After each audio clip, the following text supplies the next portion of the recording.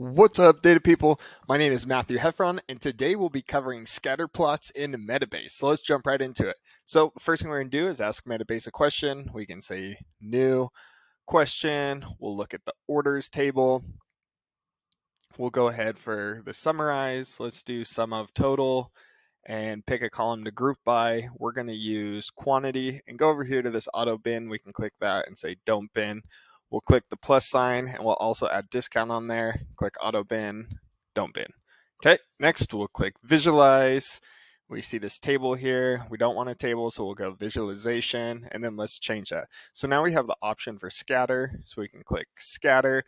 And right now you can see this large bubble here. So bubble size, let's go ahead and just close out for now.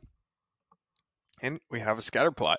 You can see here, we can change the color, uh, quantity, we can go ahead and click the ellipses. We have, you know, the formatting options that we've seen.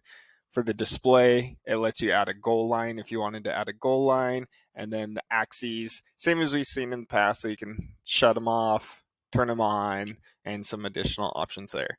So that's how you build a scatter plot in Metabase. Hopefully that was helpful. If it is, please like and subscribe, and I'll see you in the next one. See you guys.